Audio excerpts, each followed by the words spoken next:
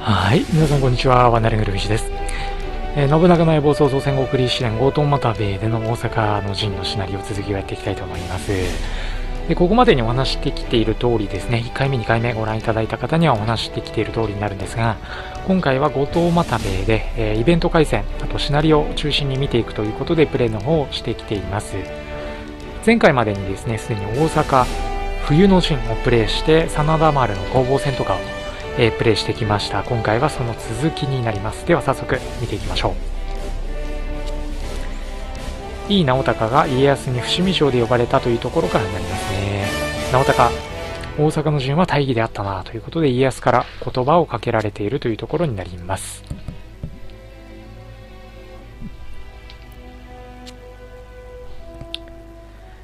で大阪冬の陣、え2回目、えーですね、えー真田丸の攻防戦でこの井伊直孝と雪村、まあ、あの真田丸でね、えー戦ったわけなんですがなんとか退けることができたというところでここのエピソードに入ってきてます。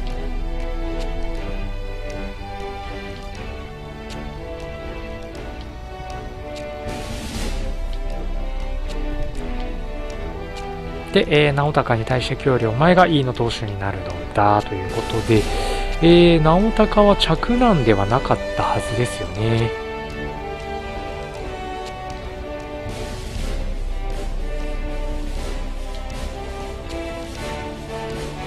そうですね。えー、兄がいるけど、兄には隠居して、この直孝が、いい家の当主になるということですね。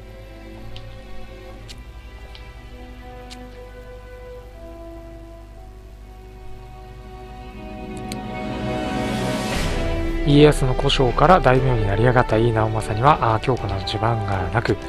井伊家の家臣団は今川家、武田家、徳川家など、出身の異なる者たちにより構成されていた。そのなそのため重弱な兄直勝では統率できず家中は混乱状態が続いており徳川の主力軍である井伊家のその状況に不安を覚えた家康の主導により今回の当主交代が実行に移されたと。いうことですね以後直孝は見事なあー手腕で家中をまとめたということになっています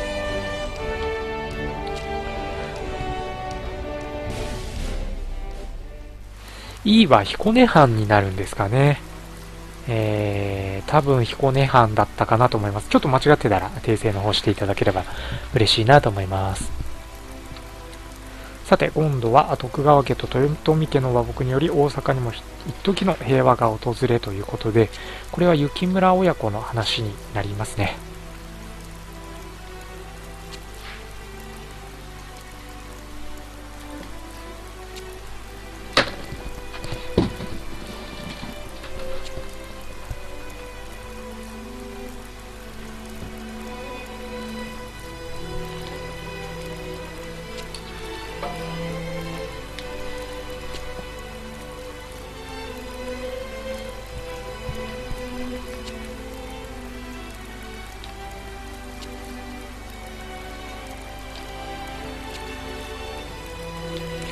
れ、文は誰に渡したんだろうな。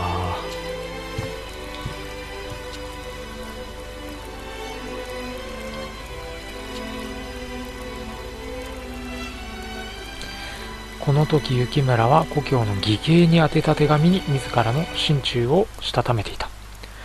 この義兄というのは誰のことなんでしょうね。小山田のことを言っているのか。ここはすごく気になるところですがこの中では明らかになっていないですね。ご命令を先月の収支です。報告いたします。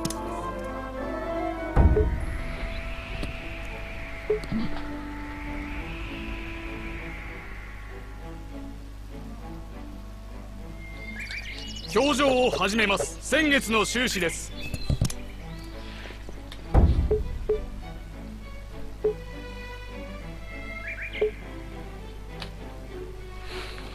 ご命令を。先月の収支です。報告いたします。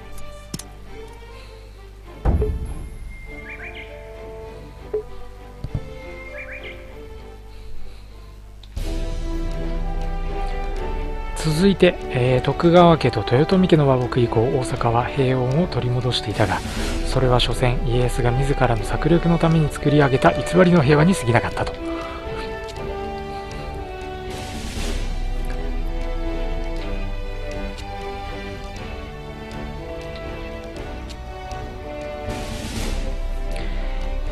さて、ここで大阪夏の陣に向かって一気に突き進む感じですね。豊臣家がこれよりも和を望むのであれば、城の浪人衆を全て追い出すか、秀頼が城を出て、大和か伊勢に移るか、いずれかの道を選んでもらおうと。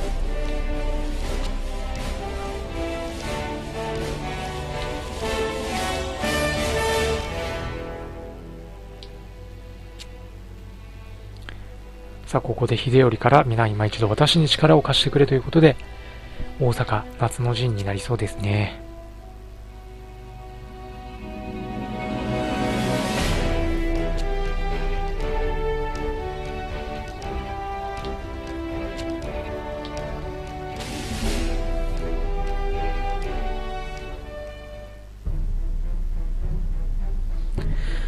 家康の最後通告を受けて再戦の決意を固めた豊臣方であったが、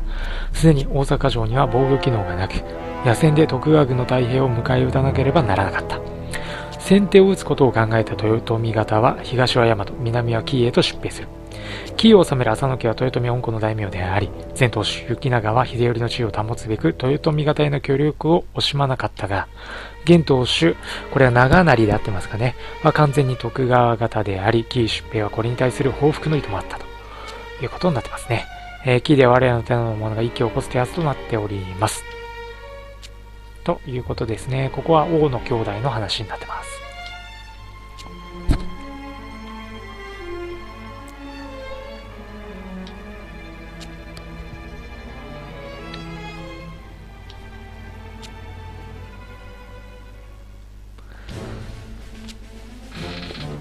ここでバン様が見当たりませんということで、えー、一番この大阪のシナリオ豊臣型でクリアするのが、あの僕個人としては難しいなと思ってる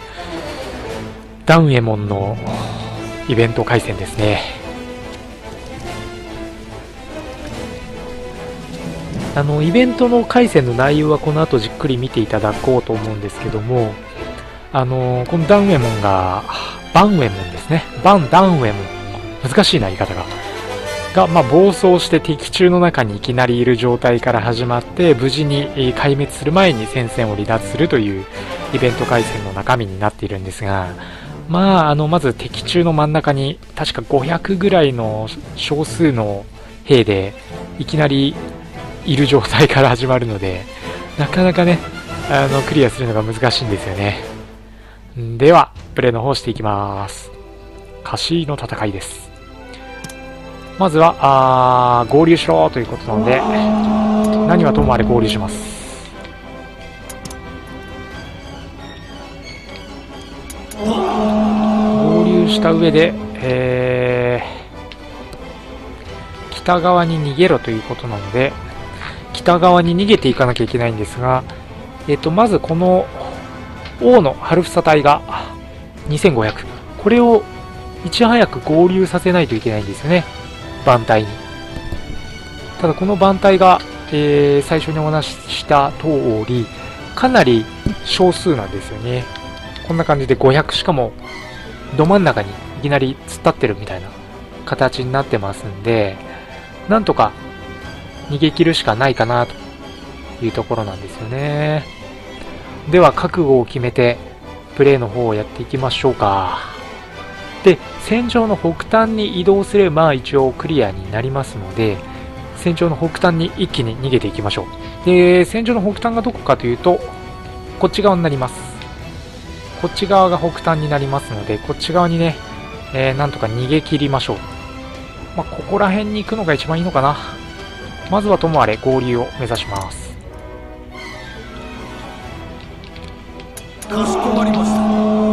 動きがねこの番隊は 自分で動かせないので。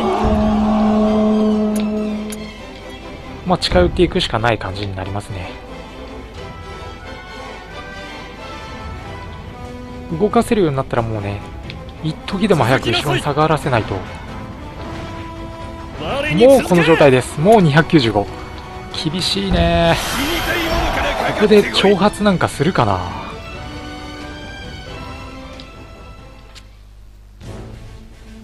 さあここからは全速力で逃げますが逃げますが逃げ切れないんですよね。これクリアするのはね本当に難しいんですよ。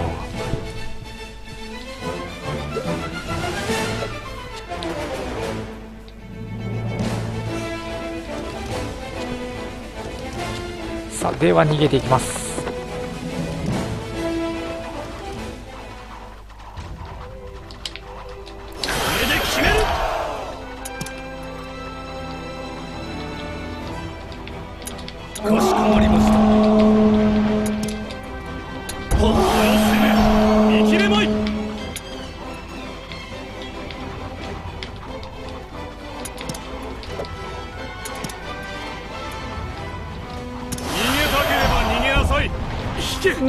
これはやられるな逃げ切れないパターンだよねこうなっちゃうんですよねこれで失敗になるんですよね。なかなか難しいですよね。まあ、ただ、あのーこのイベント回戦に失敗しても、大阪の陣の、えー、まあ、本、本シナリオっていうんですかね、に関しては影響がないので、このまま進めさせていただきたいと思います。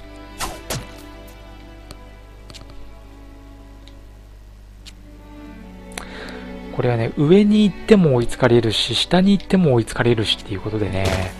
ちょっとね、クリアの方法が正直わからないんですよね。なんかこれのうまい攻略方法をご存知の方いれば、ぜひぜひチャンネルのコメント欄か、あとはツイッターでも構わないので、えー教えていただければ嬉しいなと思います。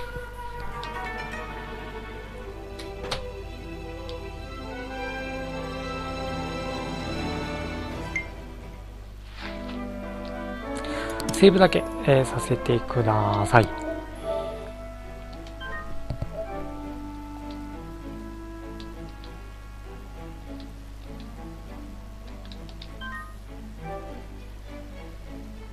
さあ、では続けていきましょう。表情を始めます先月の収支です報告いたします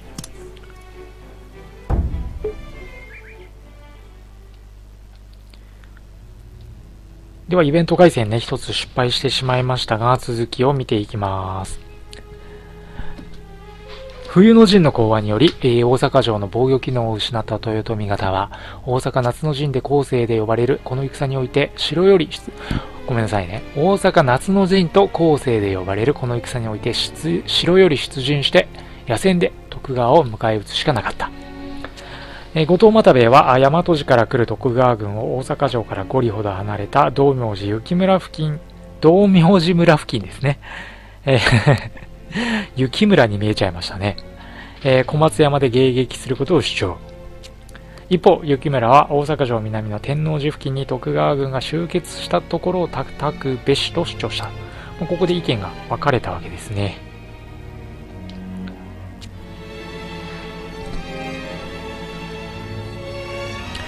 まあ実際秀頼って一度も出陣したことがないんですよね、きっと。もしここで秀頼が出陣していたら、多少豊徳川方の大名衆たちは、なんかね、動きがあったんですかね。そこもね、まあ、イフの話ですけど、気になるところではありますよね。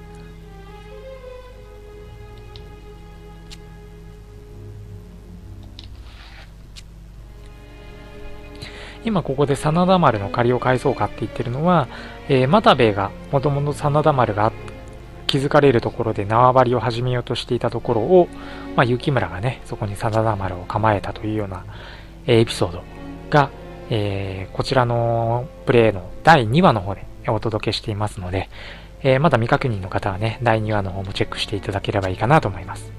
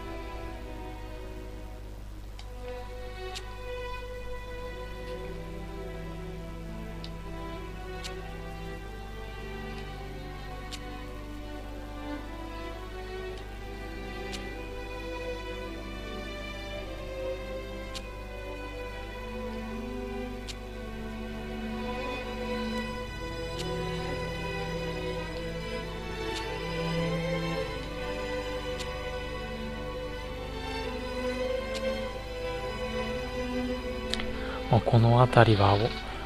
親の心をこしらずとでも言うんですかね。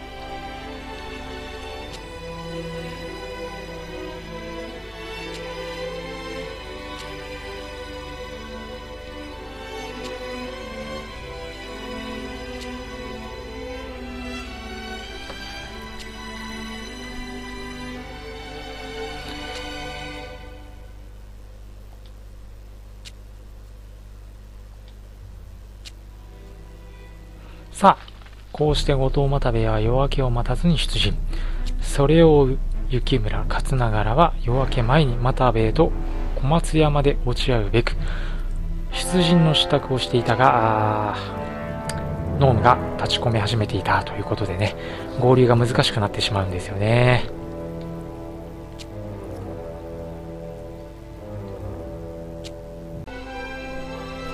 では、ここからイベント回線の方を見ていきましょう。小松山に進んできた後藤又兵衛なんですが、ノームの中、先に見えてきたのが徳川軍だというところからの始まりになります。で、史実だとね、このノームの影響を受けて、5詰めで到着する予定だった毛利一長、さらには真田信繁雪村隊との合流ができずに、ここで、えー、又兵衛をね、討ち死にしてしまうというところになるんですが、なんとかね、ここでは勝っていきたいと思いますでそのためにはですねまず敵3体いるんですがこの3体をうち1体をね撃破しなきゃいけないのでそこをねきっちりと撃破できるようにやっていきましょう。であまりこう今いるこの地点から離れすぎるとそれだけで敗北になってしまうので同じようなところにいながらかつ敵に囲まれないようにねしっかりとプレイしていく必要があるというところで、まあ、ちょこちょこちょこちょこ動いていくような感じになるかなと。思います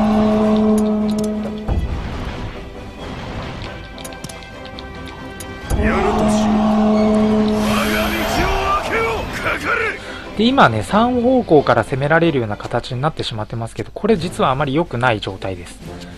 この状態だと又兵衛が結構な確率で混乱に陥 るのでちょっとね幸先悪いんですがなんとか混乱にならないことを祈ってプレーを続けていきましょう。で今武蔵がね出てきてますがここは兼助が援軍で到着した後にもう少しじっくり出てきますので、えー、その時にじっくり見ていただければと思います。全てを止める我が道を開けろ決めるまあなずにはともあれ。まずは1体。1体撃破しましょう。でただ機体を撃破することによって味方にこの金成が援軍としてやってきます。でこの金成が出てきたことによって水野勝成隊がそちらの方に行きますので、えー、ここはね水野勝成隊の方は放っておいていいかなという感じになります。ただですねこの後は、又兵衛とこの松平隊が差しで戦ってると、かなり厳しい戦いになるので、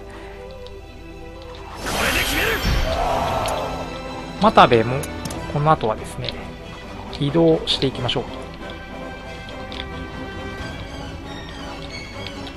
ちょっと間を置いてから移動していきます。で、金成の方はというと、小松山の方へと向かっていきましょう。承知いたしました。で、明石、彼も小松山の方へと戻っていきます。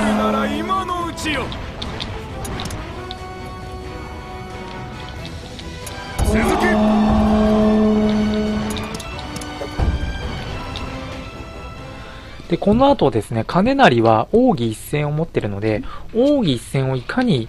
いいタイミングで放ち、かつ、えー、混乱させるか。で、武蔵の方も奥義一戦使ってくるので、先に混乱させるっていうのがね、一番のポイントになります。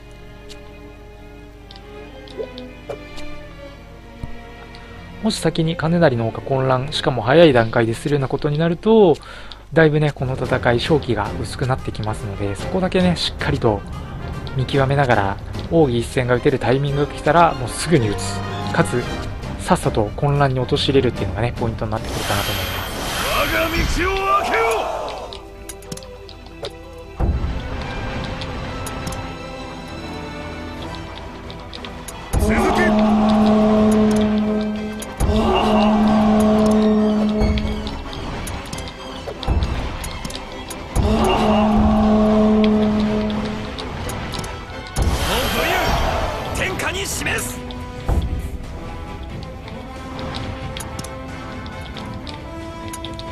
我が道を開けよ時の声も使いましょうやるとしようこれで金成の方は、まあ、混乱はねさせることはできませんでしたが水野勝成隊の方を退けることができたと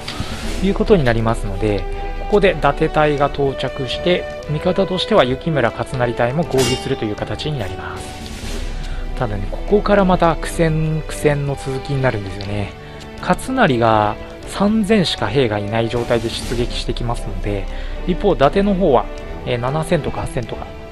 えー、あと松平忠輝が8000か9000かの軍勢で現れるということで、倍近い相手を敵にすることになりますので、ちょっとね、その辺りもしっかりと見極めながらでないと、勝つのがね、難しくなってきます。で、そのためにどうするかというと、まずは、あこの勝成ではなく、金成の方の奥義一戦をなんとか一発ね、打つ。これがね、かなり重要になってきますんで、金成のね、奥義一戦をどっかで使わせましょう。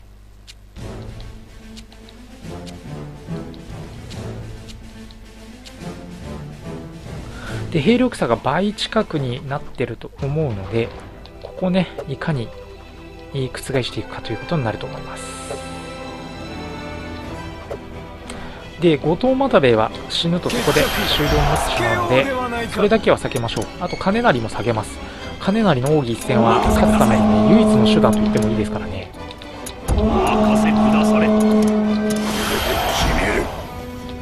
で、間に入るように、雪村とトロスカマを早い段階で入れていきます。承知いたしました。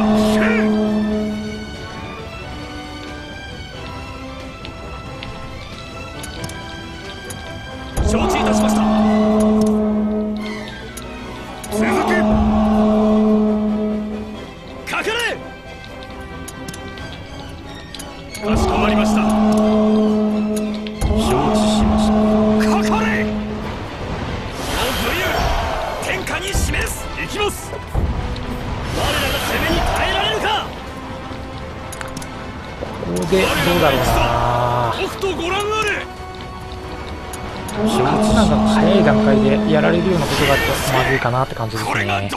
で、片倉隊はこれで、えー、あっという間に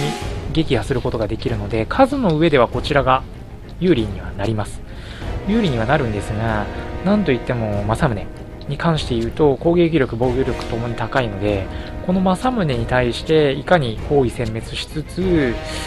金成の奥義一戦をね、発動できるかが勝機のポイントになってきますね。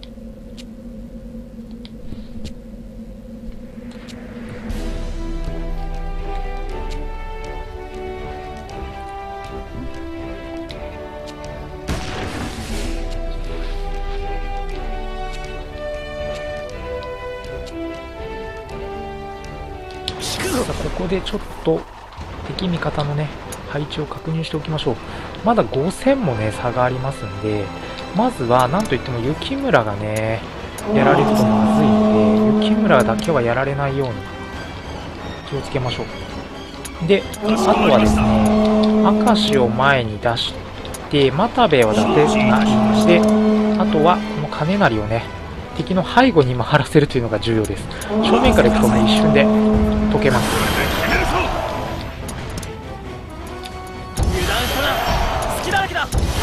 えた者は決して逃さぬ逃げたければ逃げなさい。我らの意地見せるは今ぞ。は我が道を開けよ。お任せ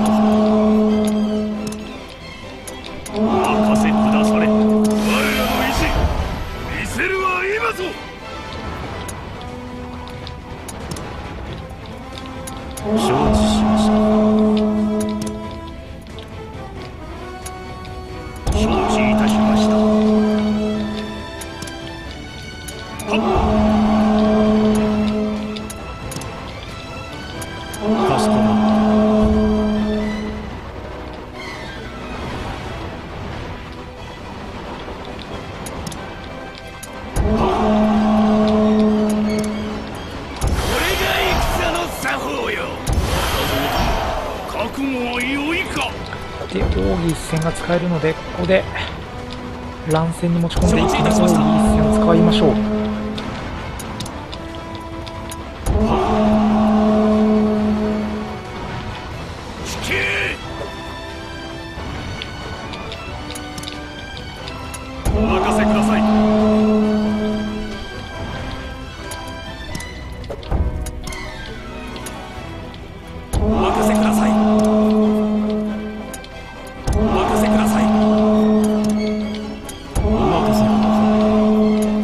奥義一戦で混乱させることができれば、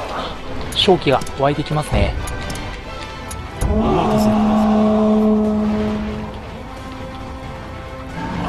よし、て混乱した。混乱したら金なりは下げます。もう一回使ってほしいからね。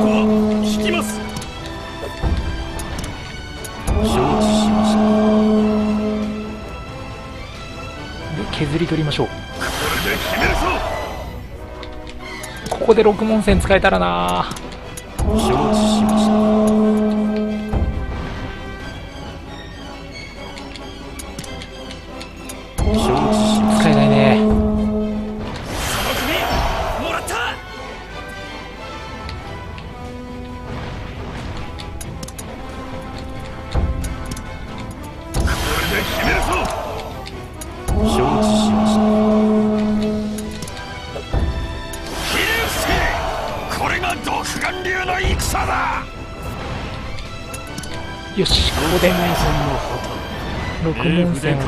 て、金なりがやられるな。金なりがやられるぞ。